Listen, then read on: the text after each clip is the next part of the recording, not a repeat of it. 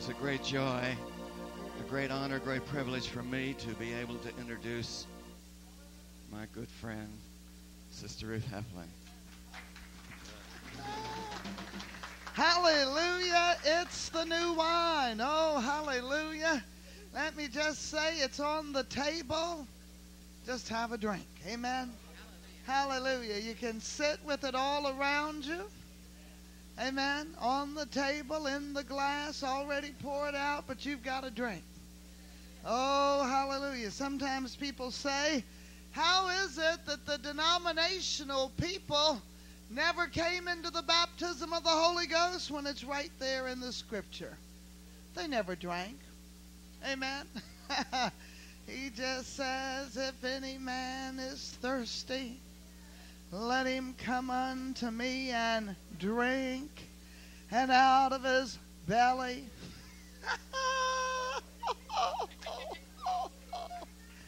out of his belly shall flow rivers, rivers, rivers, rivers, rivers. You mean you can drink and have all of that happen? Oh, yes. Oh, we just drink a little bit, but we get a river back. Hallelujah. That drinking of a little bit releases the river of God flowing out of us. And when you want the rivers to keep on flowing, you keep on drinking. Amen. Hallelujah. Just taking in, taking in, taking in. We have had an, uh, an emphasis in the word movement so much on the word, and I'm, I'm not uh, in any way negating that, but not enough on the spirit. Amen. Hallelujah. But there is a balance of the word and the spirit. Hallelujah. For the spirit uh, causes that which the word uh, says to be fulfilled. Amen brings forth that fulfillment. Amen. And as the uh, the word says, the letter kills, but the spirit maketh alive. Oh, hallelujah! We're coming into new life. Amen. Hallelujah. For those that are interested in coming to Bible school, there's going to be a special emphasis on the Word and the Spirit. Amen the Spirit so that you can move into it more quickly. Would you, brothers, just move this platform or pulpit over just a speck? Hallelujah. I like to be right on that. Uh, we'll get a little bit of that center. Praise the Lord. And that's right, just a little bit. We'll move it over. Hallelujah. When you're preaching and you're off center, you feel it. Yeah, just a little. Hallelujah. That's right. They're going to pull it back to where it was supposed to be. I know he did it. Maybe maybe we're a little well, we'll get it adjusted exactly like it's supposed to be. It may be a little bit too far this way, but we'll get it we'll get it Hallelujah. Well, that's what happens with revival. You know, you pull it this way a little a little extra and uh, and then it goes, you pull it back that way to get it adjusted, and then finally we get it right where God wants it in the center of what He's doing by His Spirit. Hallelujah. Hallelujah. How many are willing for what God has for this year? Amen. And if you're not willing, some of them, I, I noticed some of you sort of cautiously did this. Hallelujah. But uh, it, we can say, Lord, I'm willing to be made willing. But do it in your anointing. don't do it in, you know, don't let that uh, being made willing happen in any, any other way except in the church. Lord, I want it in the church. I want it in the anointing. I, I want it in the glory. I don't want to be made willing by the circumstances of life, by all of the situations round about me. I don't want to come into the things that you have for me by pressures from without. I want it to be from within. Amen. Hallelujah. That's why I want that wine of the Holy Ghost just to flow. Oh, hallelujah. Hallelujah. Some of you are saying, not me. But I tell you, the ones that are saying, not me, the loudest, the most often are going to be the ones that if you progress on, you're going to be leading the strange things that God's doing in this day and hour. Oh, yes. Have you ever considered how new everything was from the book of Acts on? You know, we we see it in retrospect and it's all very normal to us. But remember, every one of those disciples were preaching a revolutionary message. The Apostle Paul was preaching a revolutionary message. Every one of them. I mean, even I love the story of Peter going down to the house in Caesarea because it shows he was a little nervous about it all. He, it was so brand new, he didn't quite know how to handle it. Uh, amen. But he, he, when he went back to Jerusalem, he had to say this. Well, it happened while I was preaching. I, I think a lot of things are going to have to happen while we're preaching. Amen. Or else we're not going to be able to handle the newness of it all. Why is why are so many preachers getting up in the pulpit and God sort of uh, working them over in the pulpit in front of all the congregation? Because uh, if it were in the prayer room, they might not be able to handle it. And some of the things God wants to do in the congregation, we might not be able to handle. Hallelujah. But we see God doing it while we're preaching. Hallelujah. I, I, believe that. I believe we're going to see while we're preaching. hallelujah. While I was preaching, Peter said, the Holy Ghost fell on them as on us at the beginning and what could I do but go along with the Holy Ghost? hallelujah! Hallelujah! You know, when the people aren't there to witness it, you have to sometimes explain about this because sometimes we don't expect God to use this person or that person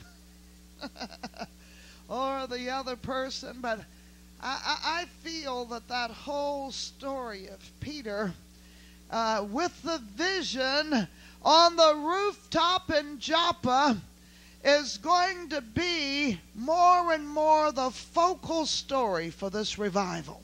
I believe that.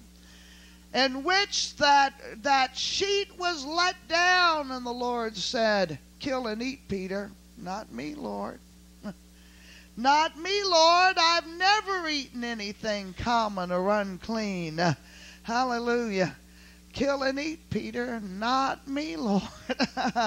Hallelujah. Hallelujah. And then suddenly the word there are men waiting for you at the gate. Go with them, doubting nothing. Why don't we just turn to that this morning? Hallelujah. Go with them, doubting nothing. We're going to see God revolutionizing our lives in such a way. Hallelujah. Thank God for the vision of the Lord that uh, helps us to be willing to move into the new and teaches us in such a way that we can handle it. Now remember, I'm, I'm going to start. I'm going to. Uh, the first part of the chapter speaks about how God dealt with Cornelius Remember this Cornelius was not yet saved, but he, the scripture calls him a devout man, one that feared God, verse 2, with all of his house. Acts chapter 10 and verse 2, speaking of Cornelius, a devout man and one that feared God with all his house, which gave much alms to the people and prayed to God always. He saw a vision. Remember, he, he was devout. He feared God. He gave alms to the people, and he always prayed. We know he wasn't saved because Acts chapter 11 says it. He saw a vision. Does God give visions to unsaved people? He does. Amen.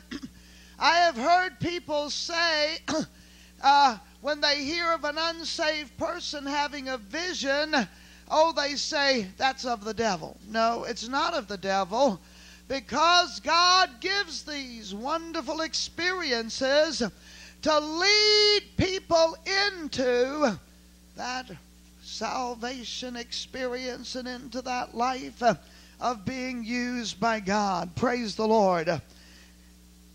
He saw in a vision, evidently about the ninth hour of the day, an angel coming into him and saying unto him, Cornelius. And when he looked on him, he was afraid and said, What is it, Lord?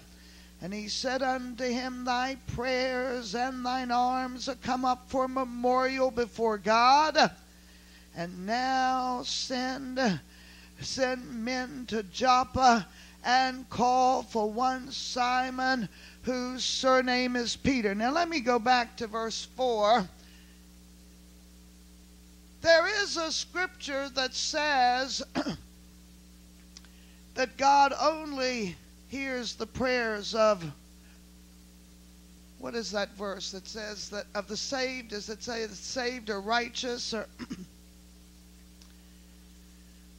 But God allows us to know here that these prayers and the giving went up as a memorial.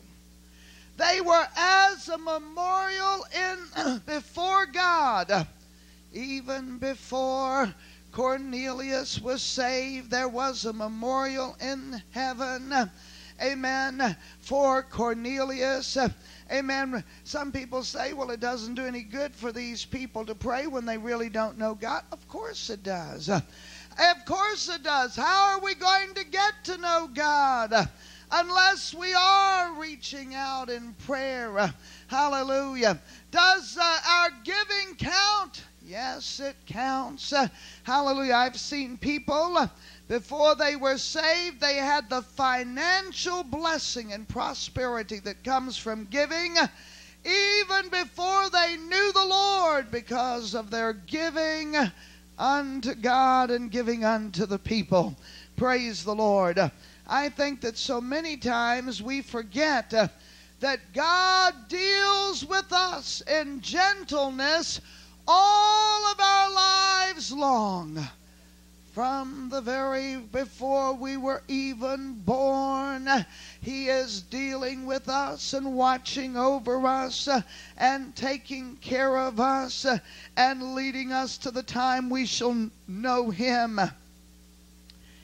Now, verse 5 And now send men to Joppa and call for one Simon whose surname is Peter. He lodgeth with one Simon a tanner whose house is by the seaside, and he shall tell thee what thou oughtest to do. Sister Hall's getting so excited because she spent a lot of time in Joppa, and she knows the modern day Jaffa, and she knows that area well. We know exactly where Peter's house was. And exactly where Peter was praying. Amen. Hallelujah. Praise the Lord. He now the thing that's so beautiful, and I, I believe this, I believe that in the revival that God's going to cause us to move into areas of words of knowledge just like God gave gave here to Cornelius. Remember Cornelius is not yet saved. And yet God tells him exactly where Peter is, who he's living with, where the house is. Amen. Can we not reach out and believe God to give us revelation knowledge in this realm? Amen. God is challenging us more and more to move into greater words of knowledge and greater revelation by the Spirit. Now send, verse 5 again, now send men to Joppa and call for one Simon whose surname is Peter. He lodgeth with one Simon a tanner, whose house is by the seaside, and he shall tell thee what thou oughtest to do. When the angel which spake unto Cornelius was departed, he called two of his household servants and a devout soldier of them that waited on him continually. And when he had declared all these things unto them, he sent them to Joppa.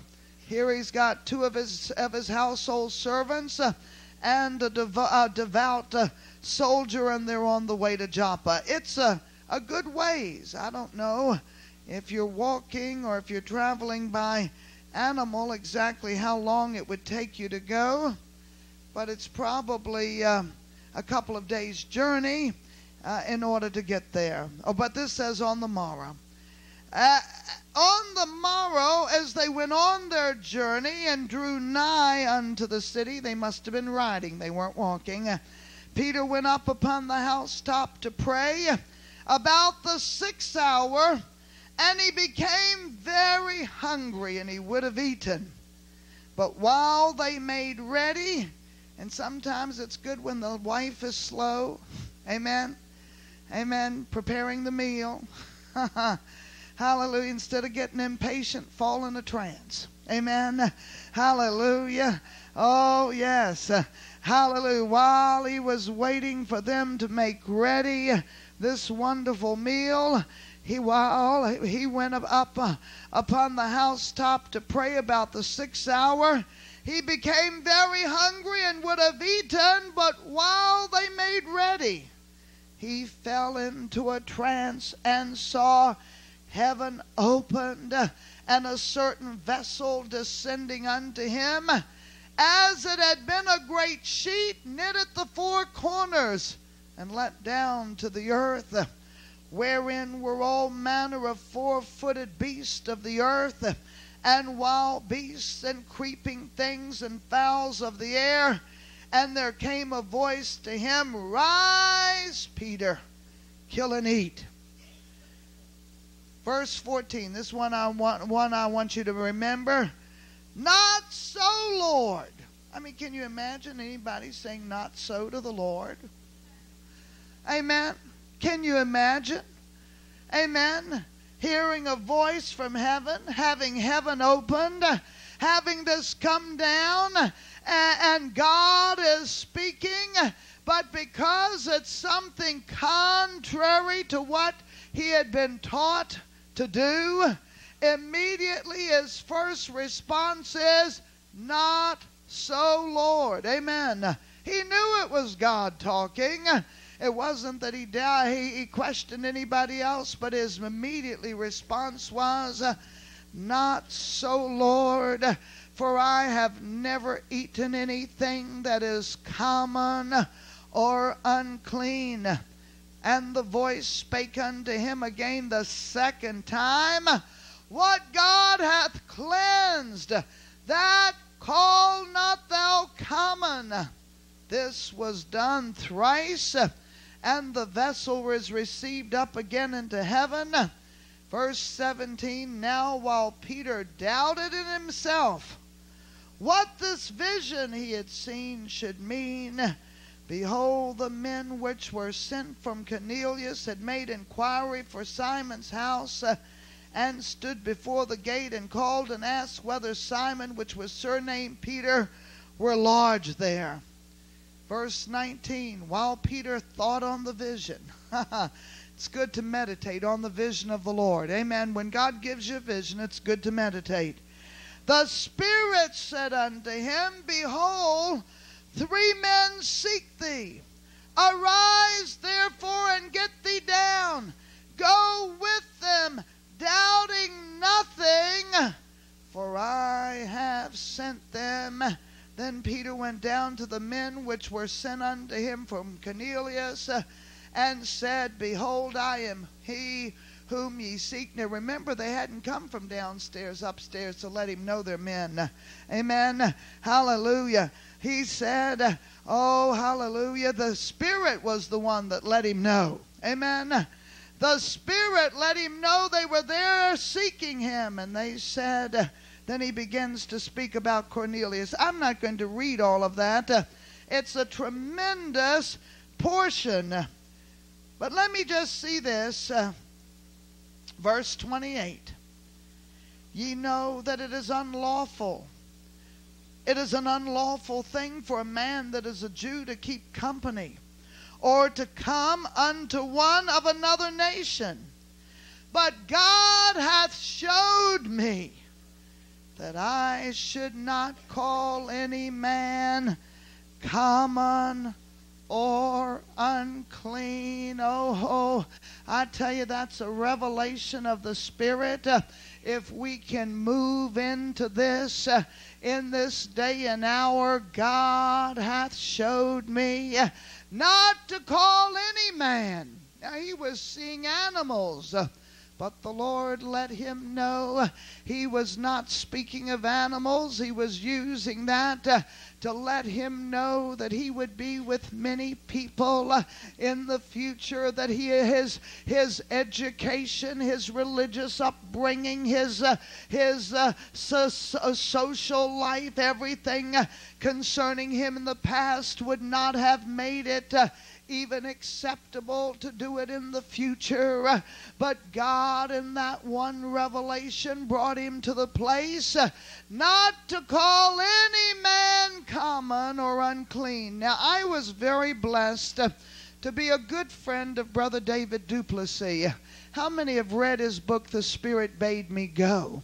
So a few of the older folks, uh, I mean, folks have been in in uh, in, in, the realm of the Spirit for years have read it, but it's a wonderful book. Uh, Brother David Duplessis was uh, that whole Duplessis family, or a great family from South Africa. Even today, one of the Duplessis is the head of it's the Apostolic Church there in in uh, South Africa, and Brother David Duplessis came to America, and he was one of the leading people in the Assembly of God movement here in our country a great man with great stature. But God began to speak to him. In fact, early in his life, Brother uh, Smith Wigglesworth had prophesied over him when he was in South Africa that he would be used of God in this revival that would reach out to every denomination. And when that began to happen, and God spoke two things that God spoke to Brother David Duplessis.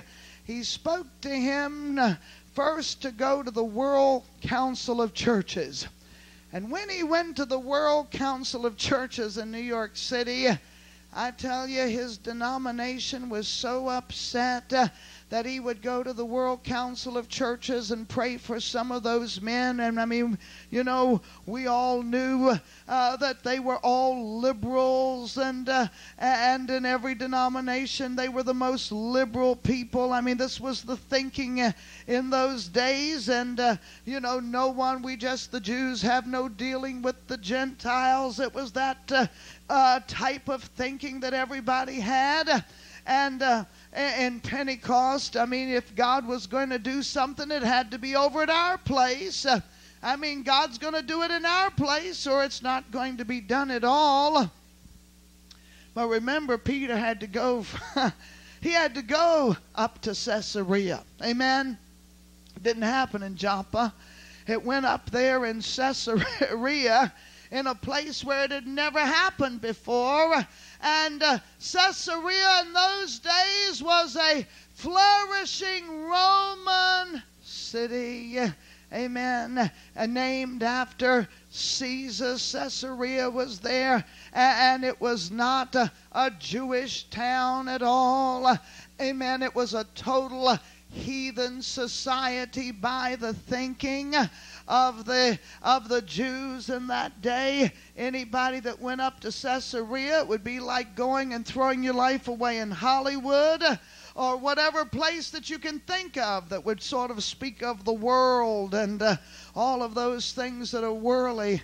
But even in Caesarea, there were the hungry ones that were reaching out uh, to God. Oh, yes, the hungry ones reaching out to God.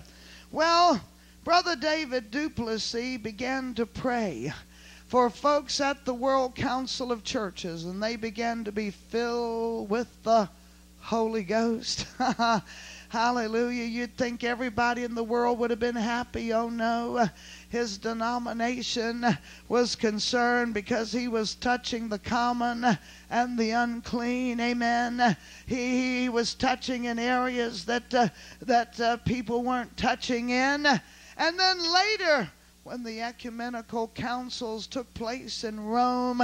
And remember, this is Rome in the early 60s with the Catholic Church before many of these great changes had taken place in the in the structure and the spirit of the church. Uh, Brother David Duplessis was invited as the observer to go, and he attended each one of these uh, conferences. Uh, and the title of his book was The Spirit Bade Me Go. Oh, hallelujah. There's going to be a bidding of the Holy Spirit in these days that's going to take us out of the area of our comfort zone. Amen.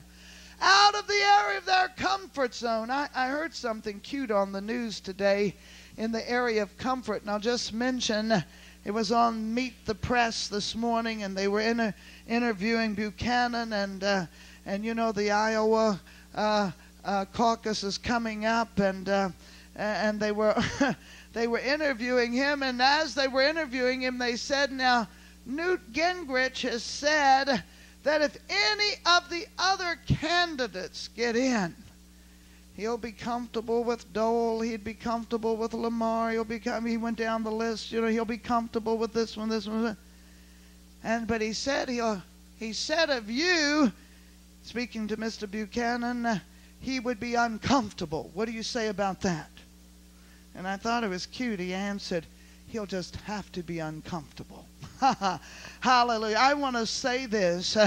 If God is dealing with us, to move out of our comfort zones in any way.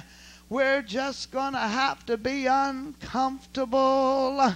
Hallelujah. Until we can get comfortable with the new. Amen. We're just going to have to be uncomfortable. Amen. In the newness of what God is doing in this day. I don't know of anyone that has been used of God in the 60s and 70s uh, and even into the 80s, like Brother David Duplessis was used. He crossed every border, and his organization was so upset they put him out. Uh, he was persona non grata. They didn't shake hands with him. They didn't invite him to any meetings. Uh, he suddenly lost his full, I mean, he was one of these top men in his denomination. But that's not the end of the story. But by the time God began to work, before some years before he died, they called him up from his uh, organization and said, Come, uh, we want to reinstate you. Uh, we want to reinstate you with full honors. Hallelujah. He had walked the road alone for a number of years, but because he was willing to do it, uh, the Presbyterians. I remember when the Presbyterians first put on in their magazine get to know your Pentecostal neighbors, uh, all those little, uh, those little movements that God was breaking down, uh, barriers and walls and fences, uh, all of those little areas were taking place uh, in those years. It was tremendous uh, how God began to. We're all familiar with it now. It's a very normal thing. I think we've got some Lutherans here now, and we've got some Baptists here now, and some Presbyterians, and some some Methodists, and some yeah, one Methodist there, and some Episcopalians, and you know uh, some uh, uh, Catholics, and we, well, we've got everybody here now. If we started the denominational thing like we did the nations last night, we'd probably have more than 15 or 16 represented. But I want you to see this that as people paid a price to bring it to where it is now, you and I might have to pay a price to take it on to where God wants to take it. Amen. Hallelujah. We may have to be misunderstood for a while. We may have to be uh, in a situation that uh, is uncomfortable for us. Sometimes uh, it's not people's rejection of us, but it's our own unwillingness to let God make us comfortable in a new situation. We just close ourselves. Now, I was blessed because this move of the Spirit of God started in the late 50s. It actually, the revival started in 48 when Israel became a nation. But this move of the Spirit, by the time it was in sort of full swing in the f- late 50s, early 60s, by the time I got to Hong Kong, I was uh, I was working with people like Brother David du Plessis and uh, and uh, Brother Ed Stube, who was one of the top Episcopalians that was filled with the Spirit, and working with people like this. Uh, and it was wonderful for me because it gave a broad perspective. Until I went to Hong Kong, I had never been in a church unless it were a funeral or a, a wedding. I'd never been to a church that was not Pentecostal. I didn't know one chorus that was not a Pentecostal chorus. But I would say from 58 on, I have spent more time in circles that are non Pentecostal than I have Pentecostal. In fact, uh, I would say mostly when I've been in Pentecostal circles, it's been when I've come back here to camp meeting, and the rest of the time I haven't been. For instance, when we first went to Israel, now, I, am preaching, unless you realize it, I'm preaching on this. Amen. The year of change. When I first, when I first went to Hong Kong, uh, I only, I, all of my frame of reference was totally Pentecostal. And then later, when we first went to Jerusalem, we took from our campground here, this would have been 1972, we took from our campground uh, 24 or 5 young people to live in Israel for six months. And so, as God began to enlarge us, folks would come in and they'd say, Oh, where are you folks all from? I'd say, Oh, well, we're all from Virginia. We're all, and they'd say, Well, what denomination? Well, we're all Pentecostal. But gradually and very quickly during those six months, things changed. And, uh, and when we went back to live in Israel permanently, it was changing even more rapidly. And I would, uh, without realizing it, you know how we automatically answer like we've answered for years. We, you know, we have certain pat understandings, and I found myself saying, they'd say, Where are you folks from? And I'd say, Oh, well, we're all from Virginia, except, oh, yes, he's from Puerto Rico and she's from France and uh, she's from Australia. And by the time I went around the room, I realized we Virginians were in the minority. And that's the way it began to happen as far as the denominations were concerned. They'd say, Well, what, you know, what is your, your background? Uh, uh, and your church? I said, well, we're all Pentecostal except, oh, she's Catholic and he's Episcopalian and she's. And, and then it began to be, until it got to be the place, I was the only Pentecostal. And I was the only Virginian. Everybody else was from all of the different denominations. And all of the different uh, uh, uh, states and countries and other places. Do you see what I'm saying? God wants to bring these changes uh, into our lives, and He doesn't want us uh, to be uncomfortable in them. God can raise up the greatest door for you, but if you if you refuse to flow into the door, after I just spoke with someone a couple of days ago, God had raised uh, uh, one of the great doors in America. God had opened for this person, and they've been in that in that situation for a year. But they never adjusted. never adjusted. It's one of those opportunities everybody here would give their eye teeth to be in. Never adjusted just to the little adjustments uh, to make it happen. And so they've given in their resignation and they're going to be moving on back they're moving back to familiar territory instead of letting God bring the enlargement. God will keep you. Now did did God tell them it was fine to go back? Yes, because God would rather you function in a comfort zone than non-function in a in a zone of that's uncomfortable for you if you're not willing for him to bring comfort into it. Does anybody understand what I'm saying? What happened with Peter?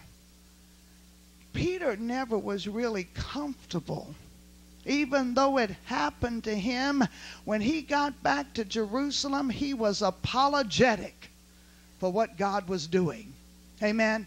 He was so concerned with what the brethren would think uh, about what happened up in Caesarea, he never was totally comfortable for it. And that's why I believe God raised up Paul to be the apostle to the Gentiles. Amen. Hallelujah. Peter was out of his comfort area, and God raised up Paul to be an apostle to the Gentile nations of the world. Could Peter have had a greater portion? I believe he could have, but he wasn't comfortable with it. He was back in that comfort zone of the Jewish people and the Jewish nation. Now, I don't know what God's calling us all into. I'm just preaching this sermon because this is what's come out of our spirit this morning. Uh, but I do know this that when we when we preach along this line, I'm, I'm moving into some uh,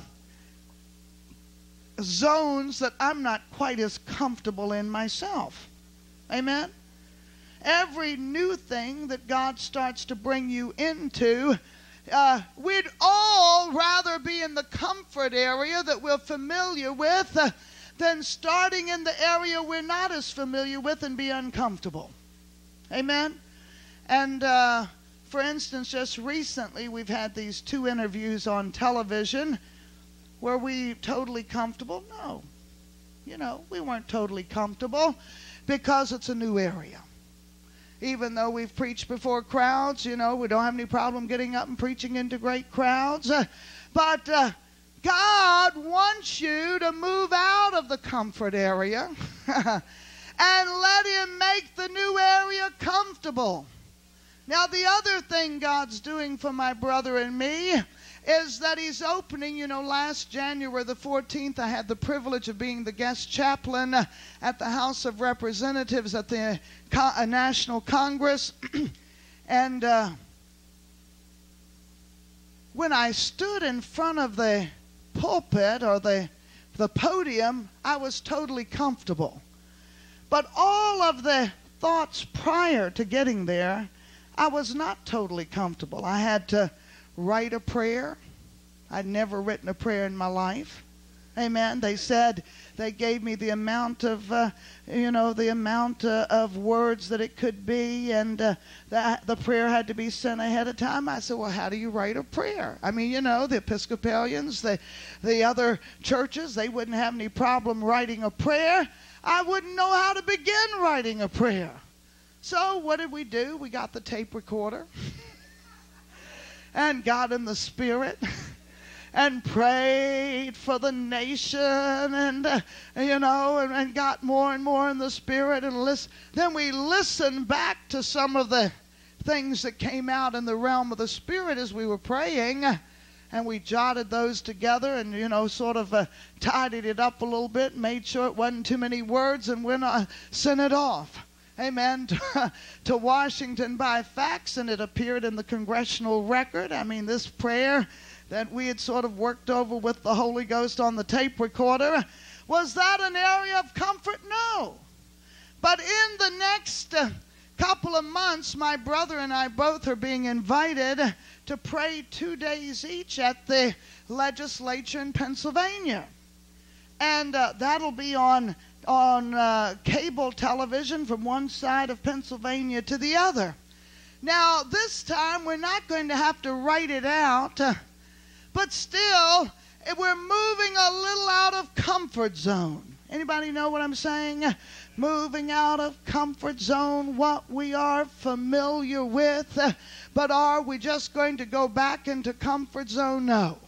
Amen. Well, uh, Are, are we going to reach out? Now, I'm only using this for an example, but for everyone here this morning, God has got areas of enlargement that are not going to be comfortable to begin with. But he wants us to to move on. Amen. In whatever area God is enlarging us, he wants us to move on and let it happen. Hallelujah. He wants us hey go with them doubting nothing. Amen. Don't be wavering. Am I doing the right thing? Have I missed God? Am I in the wrong thing? No. Do go out of the comfort area and let God do it in your life. Amen. Hallelujah. Whatever God's saying. I remember one time. You know, now I think that probably, you know, I've always considered that I was uh, probably one of the most free people as far as denominations were concerned of most anybody I knew. But I went back to Israel, and Sister Susan had become good friends with some people of a particular denomination. And we had known them for years, but it's one thing, you know, for them to drop by two or three times a year and you say hello and you get, serve them a cup of tea and in becoming good friends. And I noticed it bothered me. And I suddenly realized that the only reason it bothered me was the name of their denomination. It was their denomination. It had nothing to do with the people. They were very fine people, but I had sort of gone through every other denomination, but I hadn't gone through this one yet. And I made up my mind it wasn't going to bother me. Amen. I made up my mind I was not going to let the enemy put uh, even a little bit of, you know, if he can put a little nail there, he can hang any old dirty dog on that nail he wants to. Amen. Oh, yes, he can. And he can put that, if you leave a little nail, it's nothing there but a little nail, but if you leave that little nail, he can, he can expand on that uh, and just bring, uh, cause, cause that which God wants to do in your life just to flee away. And I made up my mind I was going to have victory over that. Uh, and I've learned from my mother how mother's mother knows how to heap coals of fire on people by doing nice things. Amen. And sometimes when you're feeling awkward, you just need to do nice things. Amen. Just reach out and bless. Bless and bless. Whereas you don't have time to bake a cake, bake a cake. Amen. Whereas normally you wouldn't be, you just reach out in every way possible because you're not going to let the enemy have that upper place.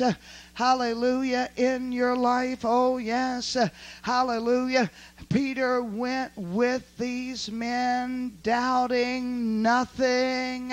Oh, hallelujah. And he says this. Oh, hallelujah. Hallelujah. Remember.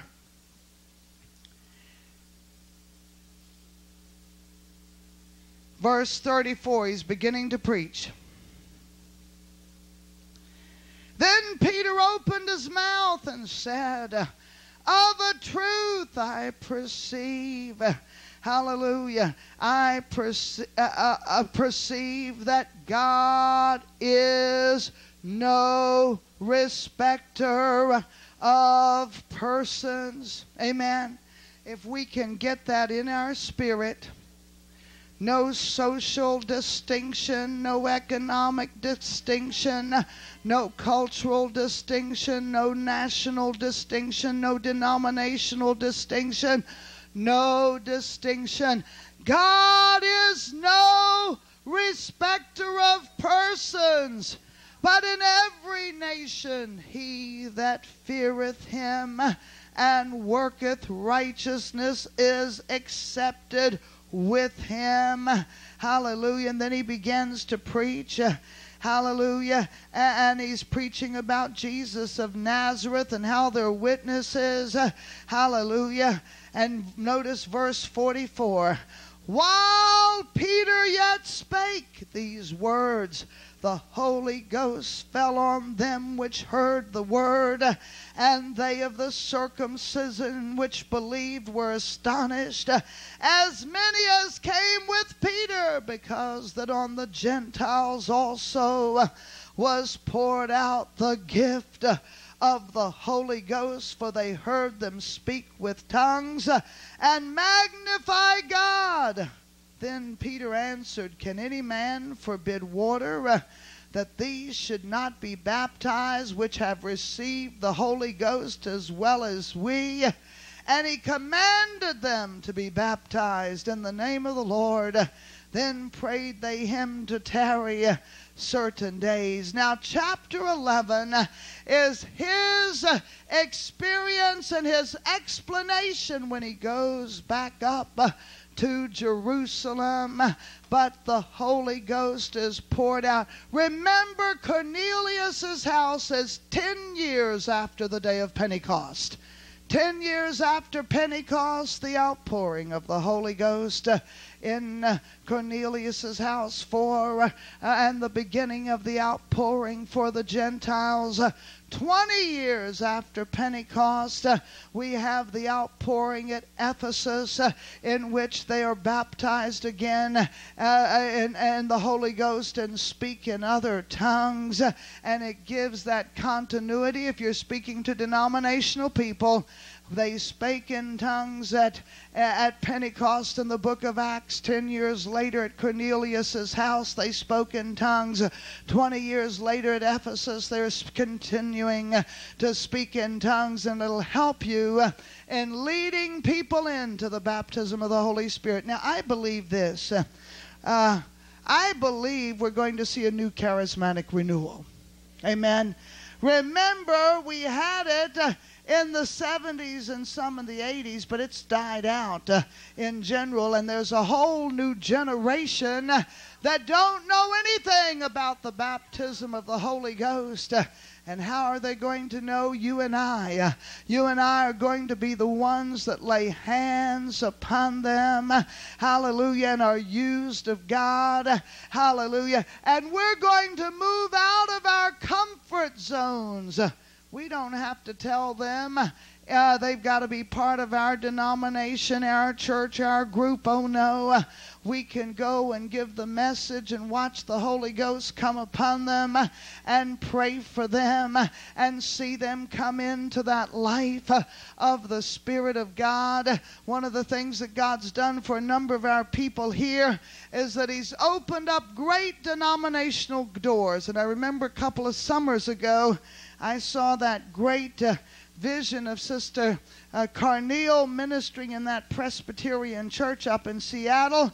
And Sister Carneal, every time you're not feeling a little well, you remember that word hasn't been uh, fulfilled. And we're going to see the fulfillment uh, of that vision. Amen. Sometimes the reason we have an outstanding vision that hasn't been fulfilled is so when the enemy tries to corner us by ill health or by a test of one kind or another, you just know you're going to come out of it all right because you still are going to see some of these glorious things that God is going to do by His Spirit. Hallelujah. Let me say this.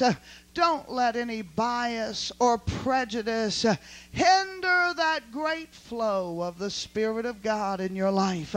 Let me say that now, with uh, this being an election year, don't let any partisan spirit uh, hinder you from being able to bless all men. Uh, amen. It doesn't matter if you're a Democrat or a Republican or an independent or what you are. Uh, amen. We've got to be able to bless all men and bless people on both sides of the aisle uh, and bless in the name of the Lord. This is God's day, and God ex- is expecting a bigness of heart to come into our lives. Now, let me say this. I remember one day when I heard a minister speak who had previously been a Pentecostal and one of the old fashioned kind like I am. He, uh, you know, he'd got moved in new circles, and when he would be preaching, he would make little jibes against the Pentecostals. I went to him afterwards uh, and I said to him, even though you're flowing in a bigger stream than what you were before, God still wants you to be able to bless the Pentecostal people as well as anybody else in the congregation. And I said, You mustn't make statements like that and close the door to the Pentecostals. We've got to keep that openness, amen, to bless all men everywhere out of this great outpouring that came to the gen- to the Gentiles. Uh, there, the message was, uh, "Call not uncommon or unclean that which God hath cleansed. Amen. Hallelujah. And God is no respecter of people.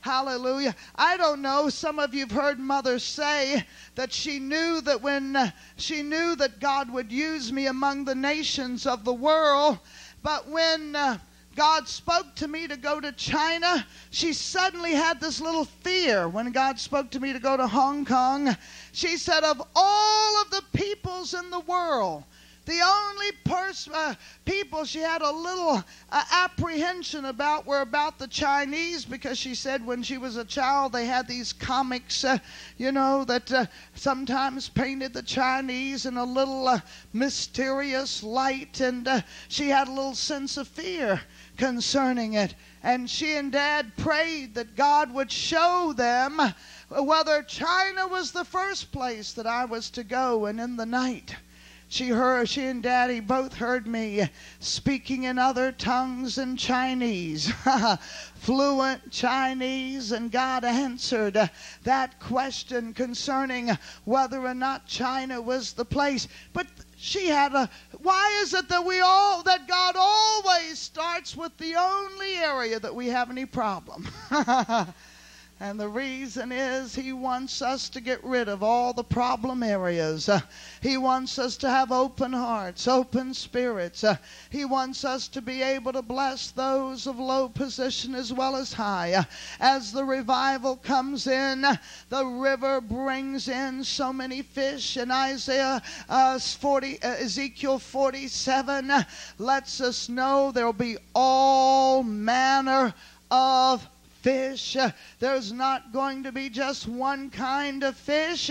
And you and I are going to need a generosity of heart and a generosity of spirit, a greatness birthed within us so that we can bless. And I tell you what I find is this is that when I'm not equal to the task, it just takes a moment. and when I see some situation that I've I'd rather not, I just reach up and say, Jesus, help me. and just as quickly as I say, Jesus, help me, there's a honey bucket full of love that comes down and begins to pour into my spirit. And when I meet that person, I'm not just saying a, uh, a social uh, good to see you. Uh, but I, I'm able to say in sincerity of heart, God bless you. Hallelujah. That blessing is there because God has birthed it uh, in my spirit to bring it, uh, make it uh, be there. And God is enlarging us. Amen. Hallelujah. Some of you may need a further enlargement concerning members of your family. Concerning your in laws, concerning bosses, uh, concerning people that you work with, whatever it is. Uh, God is no respecter of persons, uh, and He wants us to be a blessing to all men everywhere. And this revival is going to bring us into the new. He's changing us, areas that we're not comfortable in. He'll make us more and more comfortable in them if He's calling us into it. Uh, Sister Sundberg said uh, when she started prophesying in that Australian trip, uh, you know, she eh, she wasn't quite comfortable uh, in the doing of it, but you're getting more and more comfortable, aren't you? Uh, hallelujah. Whether it's a gift of the Spirit, God's bringing us into greater comfort uh, in that area of flowing uh, by the Spirit of God. And Lord, we know we're going to see another revival among the nations, among the Gentiles. It's going to be even greater than what began at Cornelius's house that night. We're going to see God pouring out His Spirit in Hollywood. We're going to see God pouring out His Spirit in Washington, D.C., in government circles. We're going to see God moving across our nation in legislative bodies. We're going to see, Lord, people that are working in these uh, areas being used of God, hallelujah, in ways that they've never considered being used of God. And we say, Lord, anoint us for this new day. Anoint us for this new day. Let us be sensitive to the Holy Spirit and let us go whether it's next door or, or to the next county or to the ends of the earth, let us go in obedience unto you. Oh, Tarabashiandai, equip us. Those areas we do not feel equipped in, equip us in those areas we pray.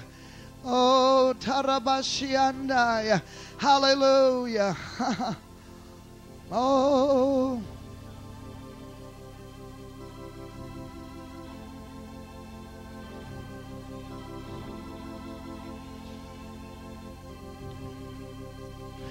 There's a little chorus.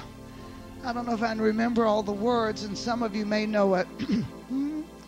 Change my heart, oh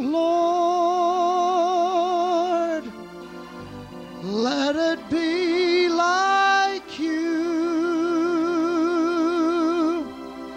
Change my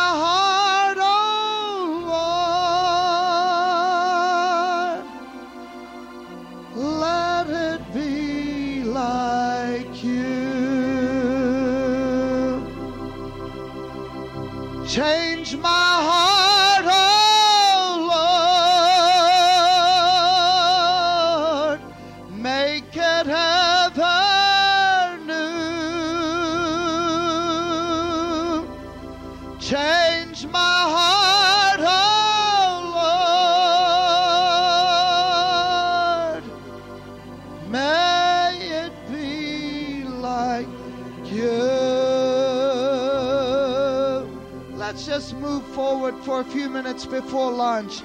Change my heart,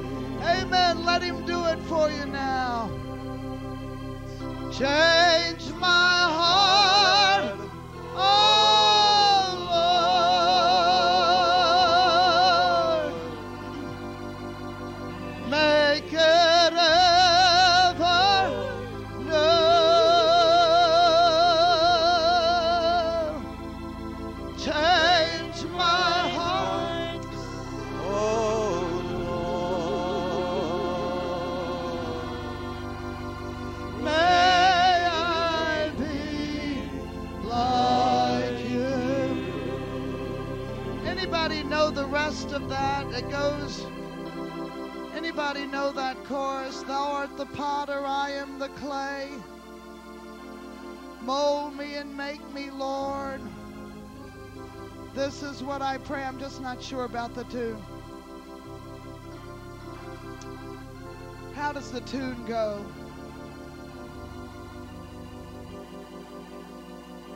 Come and help me.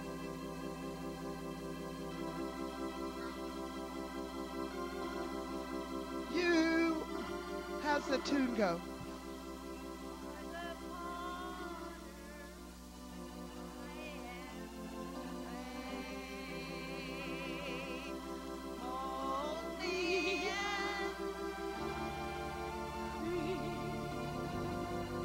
This is what I. You remember the second part, the tune. Come.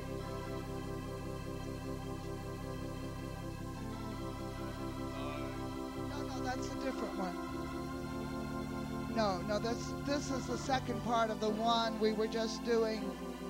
Uh, Change my heart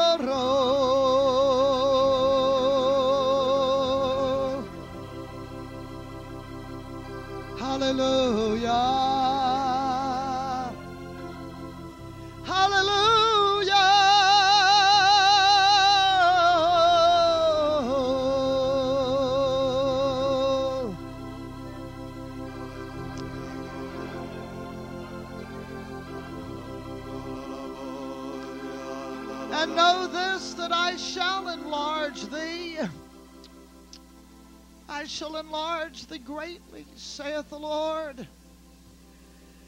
Thou shalt be amazed at the enlargement that I shall place within thee. For I shall change attitudes, and I shall cause thee to love in difficult situations. I shall cause thee to pour out grace in areas that need grace. And I shall do it with such ease within thee. Thou shalt look at thyself in the mirror and know that thou art different. For I shall truly change thee from glory to glory. And I shall elevate thee, saith the Lord. I shall elevate thee in the sight of men for my name's sake.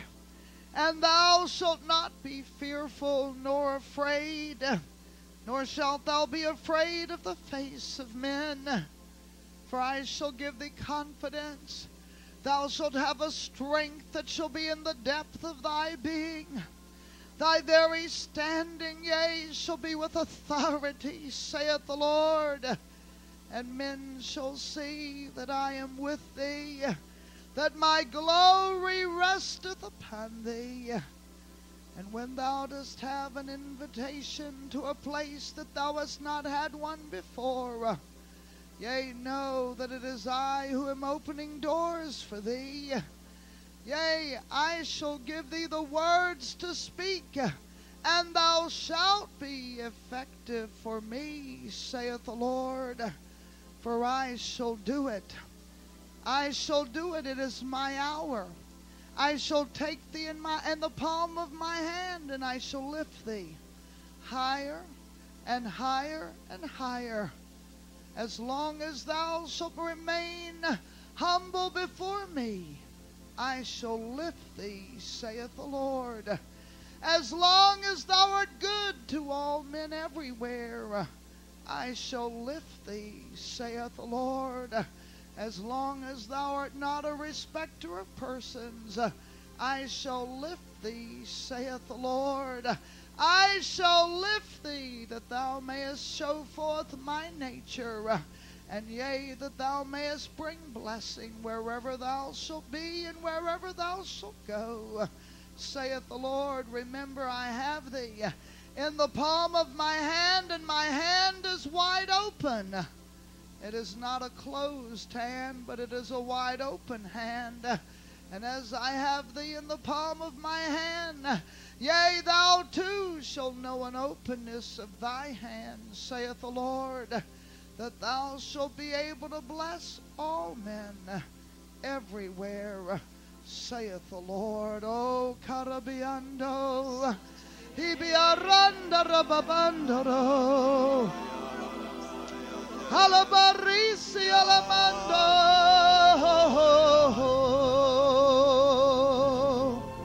You're working in us, Lord. You're working in us, Lord. You're working in us, Lord. You're working.